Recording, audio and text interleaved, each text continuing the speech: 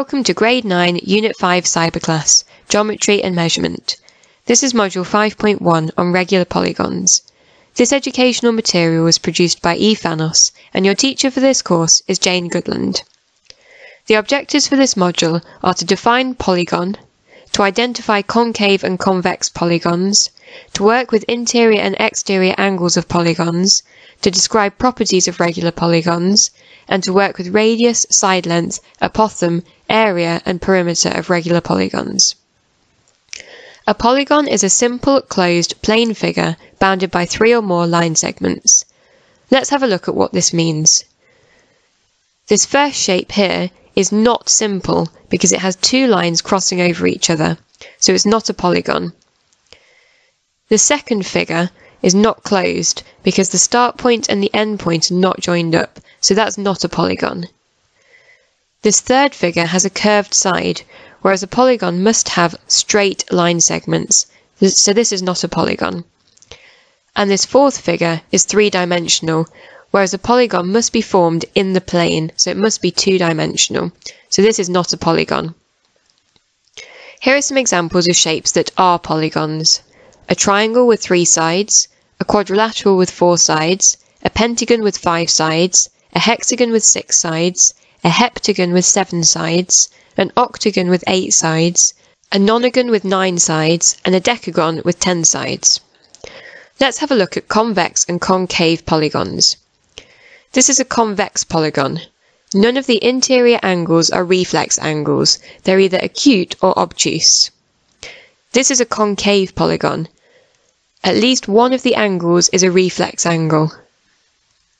A regular polygon is a convex polygon, like this, which is both equiangular and equilateral. Equiangular means that all of its angles are exactly the same size, and equilateral means that all of its sides are exactly the same length. An equilateral triangle has three angles the same size and three sides the same length, so that's regular. A square has all four sides the same length and all four angles equal to 90 degrees, so that's regular. A rhombus has all four sides the same length, so it's equilateral, but it's not equiangular because adjacent angles are not equal to each other.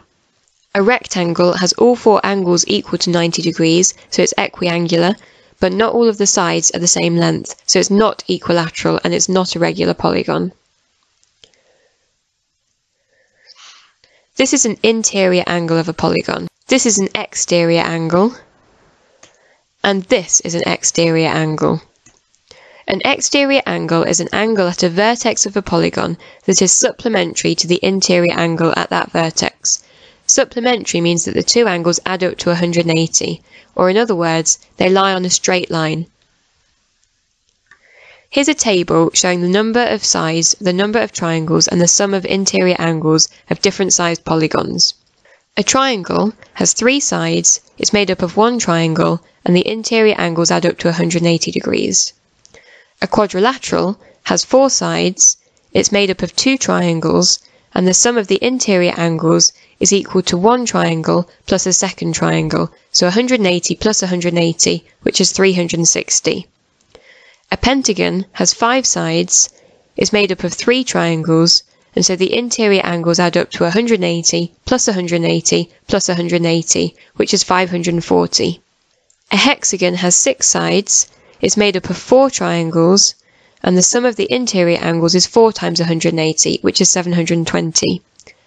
A heptagon has seven sides, it's made up of five triangles, and the sum of the interior angles is 900 degrees. An octagon has eight sides, is made up of six triangles, and the sum of the interior angles is 1080 degrees. And an n-gon would have n sides, it would have n minus 2 triangles, and the sum of the interior angles would be n minus 2 times 180. Examples. Find the sum of the measures of the interior angles of a 16 gon. The interior angles add up to n minus 2 times 180, so in this case that's 16 minus 2 times 180, which is 2520 degrees. If the sum of the measures of the interior angles of a convex polygon is 3600 degrees, how many sides does the polygon have? In this example, we know that n minus 2 times 180 must be equal to 3600. So if we expand this, 3600 equals 180n minus 360. So 3960 equals 180n, so n equals 22. The polygon has 22 sides. The sum of the exterior angles. If we draw in all the exterior angles of this pentagon and label them A, E, D, C, and B, then if we look at the interior angles, this one here is 180 minus A, this is 180 minus B, 180 minus C, and 180 minus D, and 180 minus E. If we add all of those up, then we get the total sum of the interior angles, and we know that this is equal to n minus 2 times 180, and in this case n is 5 because it's a pentagon. So if we simplify the left-hand side, we get 900 minus a minus b minus c minus d minus e equals 5 minus 2 times 180. So 900 minus a minus b minus c minus d minus e equals 540. So 360 equals a plus b plus c plus d plus e. Or in other words, all of the exterior angles add up to 360 degrees. We can do the same thing with an n-sided shape. So this time 180 minus a plus 180 minus b plus 180 minus c and so on adds up to n minus 2 times 180. So if we simplify the left-hand side, this is 180 times n minus a minus b minus c equals 180 times n minus 360. The 180 times n's cancel, so negative a minus b minus c and so on equals negative 360. So a plus b plus c and so on equals 360. The sum of the measures of all the exterior angles of a polygon is 360 degrees, however many sides it has. Regular polygons. Here's a regular pentagon. This angle here is an interior angle. The sum of the interior angles equals n minus 2 times 180, so each individual interior angle equals n minus 2 times 180 divided by 5. In this case, that's 5 minus 2 times 180 over 5, which is 108 degrees.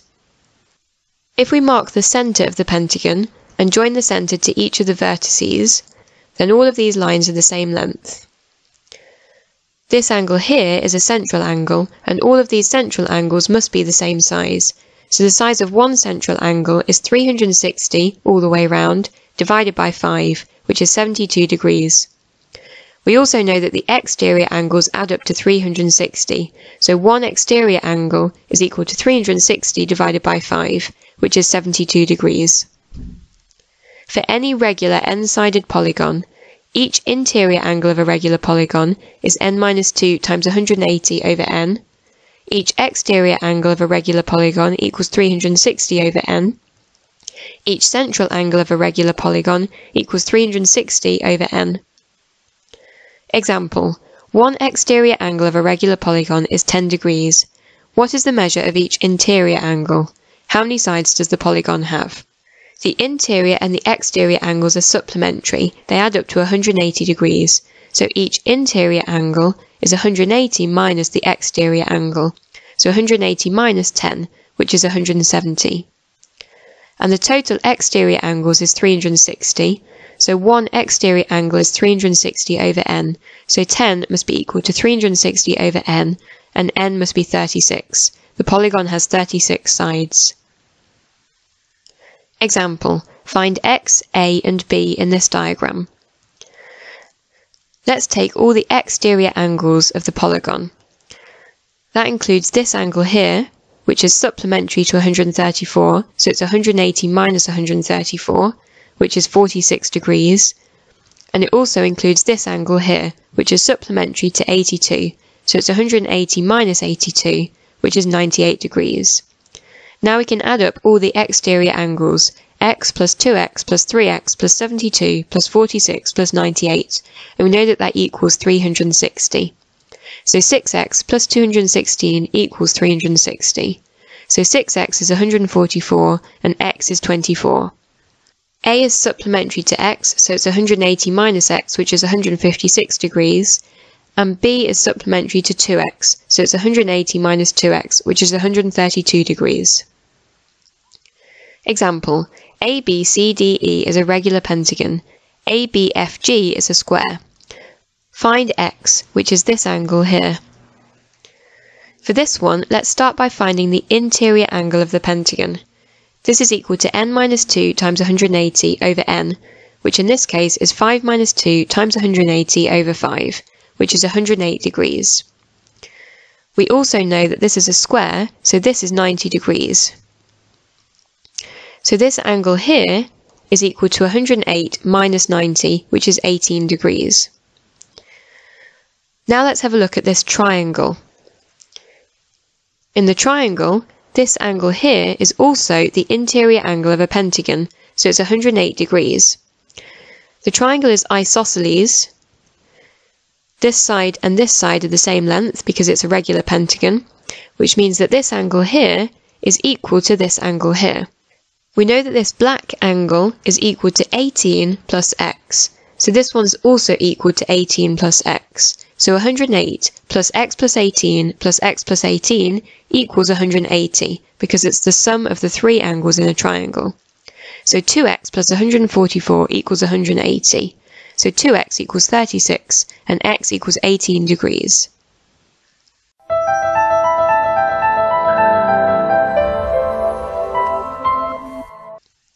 Properties of regular polygons. The line of symmetry is the imaginary line where you could fold the image and have both halves match exactly. For a triangle, we could have a line here, a line here, and a line here, so there are three lines of symmetry. For a square, we've got one, two, three, four. There are four lines of symmetry. For a hexagon, there are one, two, three, four, five, six. There are six lines of symmetry. A regular n-sided polygon always has n lines of symmetry. Start with a circle. Let's try and turn this into a hexagon.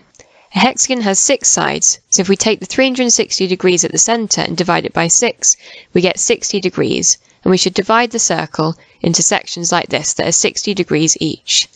Now if we draw in some tangents around the edge of the circle, we can see that where they join up forms the shape of a hexagon.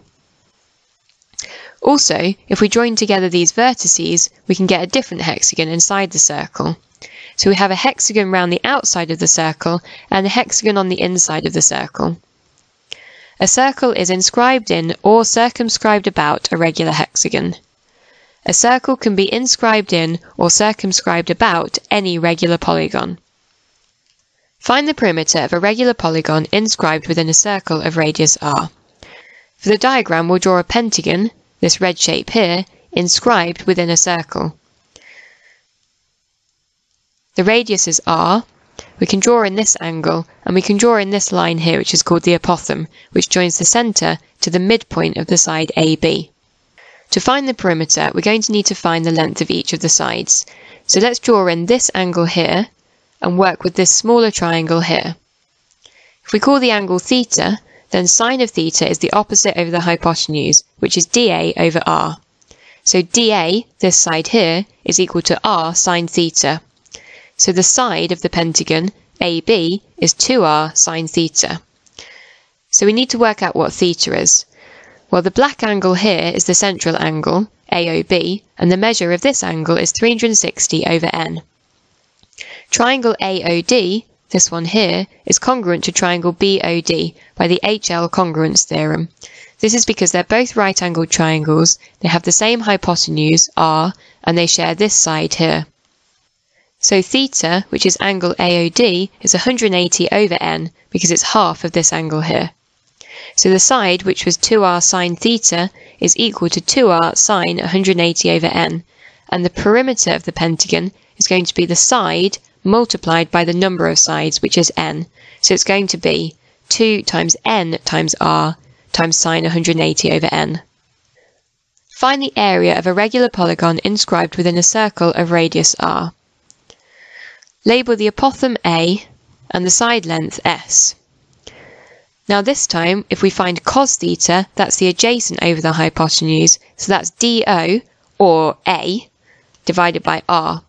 So A is r times cos theta. So A is r times cos of 180 over n. Then to find the area of the triangle, we want a half times base times height. So it's a half times DO times AB, which is a half times A times S. So the area of the whole polygon is a half AS times by n, which is a half times A times Sn, which is a half times A times P, because Sn is the side length multiplied by the number of sides, so it's the perimeter. So we can say that the area of any regular polygon is equal to a half times A times P, where A is the apothem and P is the perimeter. Let's summarize these formulas. For a regular polygon of n sides, S is 2r sine 180 over n, P is 2nr sine 180 over n, A is r cos 180 over n, and the area is a half times A times P. Where n is the number of sides, r is the radius, A is the apothem, S is the side length, P is the perimeter of the polygon, and A is the area of the polygon. If we take this formula a equals a half times a times p and substitute a equals r cos 180 over n and p is 2nr sine 180 over n, then this simplifies to a equals a half times n times r squared times 2 sine 180 over n cos 180 over n. But sine of a plus b equals 2 sine a cos a, so the area is a half nr squared times sine of 180 over n plus 180 over n, so A is a half n r squared sine 360 over n. Example. Find the length of the side, apothem, perimeter and area of a regular hexagon if its radius is 10 centimeters. Here are the formulas for S, P, A and the area. We're working with a hexagon which has six sides. So S is 2 times 10 times sine of 180 over 6, which is 20 times sine 30, which is 10 centimeters. The perimeter is n times s, which is 6 times 10, which is 60 centimeters. The apothem A is 10 times cos of 180 over 6, which is 10 times cos 30, which is 8.66 centimeters.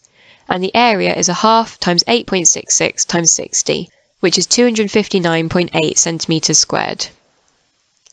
Example, find the radius of an equilateral triangle with perimeter 24 centimeters.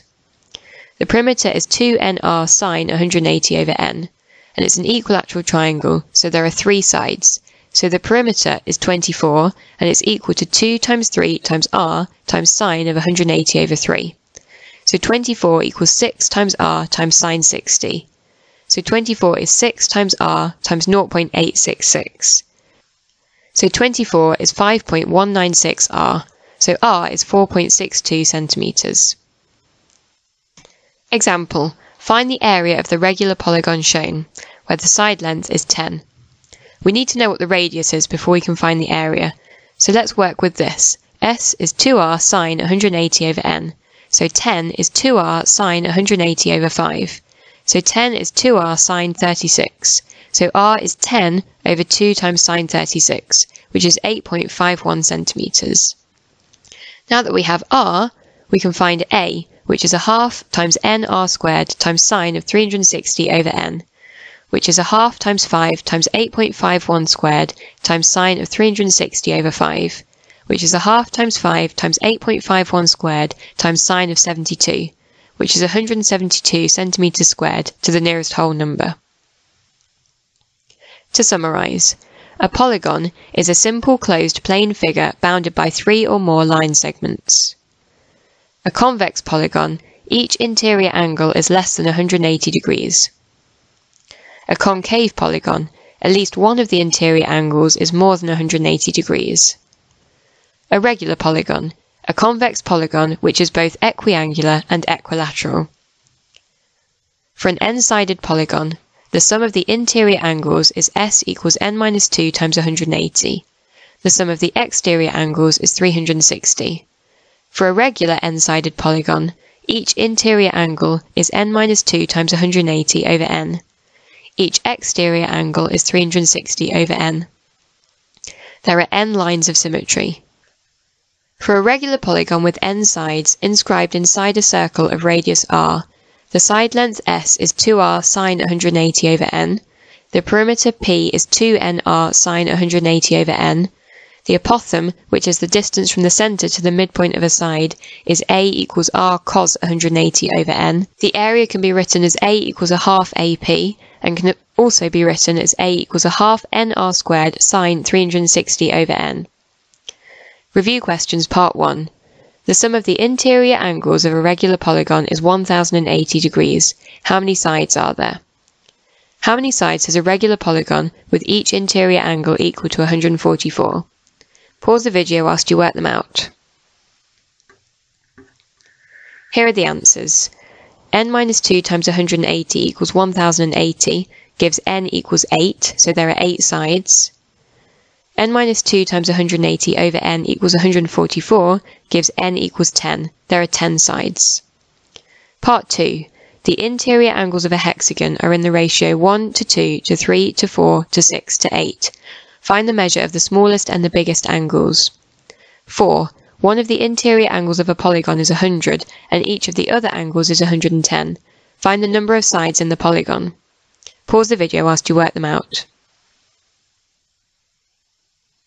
Here are the answers. The total is 720, so x plus 2x plus 3x plus 4x plus 6x plus 8x equals 720. So the smallest angle is 30, and the largest angle is 240. For number 4, 100 plus n minus 1 times 110 is equal to n minus 2 times 180, and this gives n equals 5. The polygon has 5 sides. Part 3. Each interior angle of a polygon is 150 degrees. Find the sum of interior angles of a polygon which has half the number of sides of the given polygon. 6. Is it possible to construct a polygon the sum of whose interior angles is equal to 20 right angles? If yes, find the number of sides of the polygon. Pause the video whilst you work them out. Here are the answers n minus 2 times 180 over n equals 150 gives that the original shape had 12 sides. If we halve this to get 6 sides, then the sum of the interior angles of the six-sided shape is 720 degrees. For number 6, yes, the sum is 1800, and this gives us n equals 12, so the polygon has 12 sides. Part 4. The diagram shows a regular six-sided polygon. Work out the value of y. 8. The diagram shows part of a regular polygon with an interior and exterior angle marked. The size of the interior angle is 7 times the size of the exterior angle. How many sides does the polygon have? Pause the video whilst you work them out. Here are the answers. For number 7, 360 divided by 6 is 60 degrees. For number 8, the exterior is x and the interior is 7x. So x plus 7x equals 180 gives us that x equals 22.5. So 360 over n equals 22.5, so n is 16, and there are 16 sides. Part 5. The size of each interior angle of a regular polygon with n sides is 140 degrees. Work out the size of each interior angle of a regular polygon with 4 n sides. 10. The diagram shows a regular pentagon and a regular heptagon. Work out the value of x. Pause the video whilst you work them out. Here are the answers. For number 9, n is 9, so 4n is 36, and each interior angle is 170 degrees. For number 10, the interior angle of the pentagon is 108, the interior angle of a heptagon is 900 over 7, so the value of x is 360 minus 108 minus 900 over 7, which is 123.4 degrees. Part 6. The size of each interior angle of a regular polygon is 11 times the sizes of each exterior angle. Work out the number of sides the polygon has. 12. The diagram shows a regular hexagon. Work out the value of x. Pause the video whilst you work them out. Here are the answers. For number 11, it has 24 sides. For number 12, turn it into a triangle. Then we can see that it's an equilateral triangle, so x is 60 degrees. Part 7. Find the area of a regular octagon with an 11.1 inch apothem and 9 inch side. 14. Find the area of this regular polygon to the nearest tenth if a equals 12 inches. Pause the video whilst you work them out. Here are the answers. Here are the formulas. For 13, we can use A equals a half AP, which is a half times 11.1 times 8 times 9, which is 399.6 square inches. For 14, we find the radius first using A equals R cos 180 over 3, so the radius is 24 inches, and then we use that the area is a half n r squared sine 360 over n, which is 748.2 square inches. Part 8. Find the side of a regular polygon if its area is 20 square feet and it has four sides. 16. A dining room table has six sides of equal length. If one side is 28 inches and its hypotenuse is 24.8 inches, then find its area in square inches. 17. The area of a hexagon is A. If the radius is doubled, what is the new area? Pause the video whilst you work them out. Here are the answers. Use the formulae. 15 is the square root of 20 feet. 16 is 2083.2 square inches, and 17 is 4a square units. Part 9. The area of a regular hexagon is 33 square inches. Find the length of its side rounded to the nearest tenth. 19. ABCDE is a regular pentagon. ABFGHJ is a regular hexagon, both with side length 12. Find the area enclosed between the hexagon and the pentagon. Pause the video whilst you work them out. Here are the answers. 18. R is equal to the side length, which is 3.6 inches. 19. The hexagon area is 374.12. The pentagon area is 247.75, so the area enclosed is 126.4 square inches. This is the end of Module 5.1.